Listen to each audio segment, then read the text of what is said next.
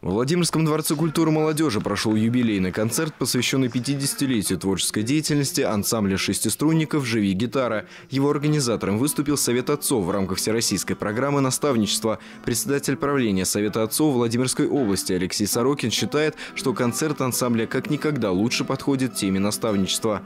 Мало того, что эти люди творческие, они оставили, и оставят, я думаю, что такой неизгладимый след э, в истории нашего региона – вот. И нам просто, ну, как нельзя лучше было э, от них получить предложение, ну, как сказать, откликнуться на их предложение, да, самим что-то как бы предложить, пообсуждать. Годом основания ансамбля «Живи гитары» можно считать 1967 год, когда в Доме культуры химзавода был организован кружок гитаристов. Именно в нем и занимались участники нынешнего концерта. В ансамбле пять человек, четыре мужчины и одна женщина, которая не смогла присутствовать на празднике.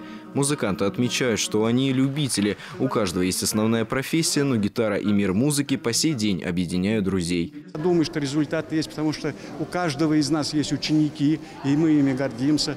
И э, они передают эстафету э, своим детям, окружающим э, их э, детей. То есть э, гитара продолжает жить, поэтому у нас ансамбль называется «Живи гитара». В рамках проекта наставничества участники ансамбля совместно с Советом отцов собрали деньги и подарили гитару талантливой девочке Еве Гладышевой. У нее четыре брата и сестры. К сожалению, купить инструмент на свои средства у семьи нет возможности. Алексей Сорокин считает, этот подарок станет положительным примером того, что доброта вечна и нужно иметь большое открытое сердце. Игорь Липский, Виталий Сергеев, губерния 33.